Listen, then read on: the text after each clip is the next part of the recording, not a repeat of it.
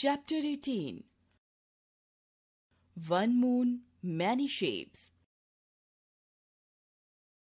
The moon orbits around the earth. It gets its light from the sun.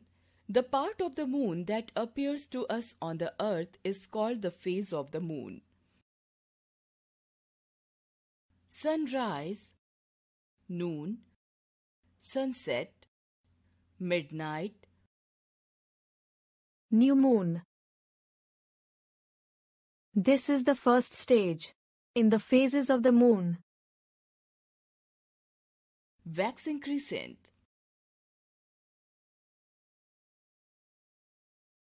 First quarter, At this stage, the moon appears half in the sky.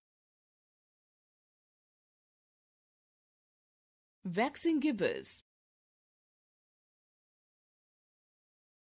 Full moon, At this stage, the moon appears full in the sky. waning gibbous. From this stage, the appearance of the moon starts decreasing. Last quarter, waning crescent.